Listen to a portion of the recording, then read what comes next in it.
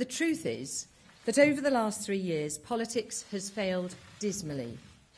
It has failed to deliver on the biggest democratic decision in our history.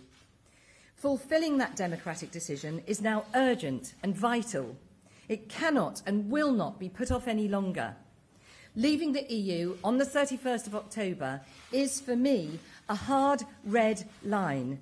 The bit where I perhaps will make myself not popular with my colleagues is when I say that it is not going to be possible to leave on the 31st of October. I would love to. The reason why I think a no-deal threat is credible is because I think if we approach our European Union partners in a spirit of openness and we bust a gut, we do everything we can to get a deal, and they're simply not prepared to budge, then in those circumstances and only those circumstances will I think there, will, will there be a majority in the House of Commons to leave without a deal.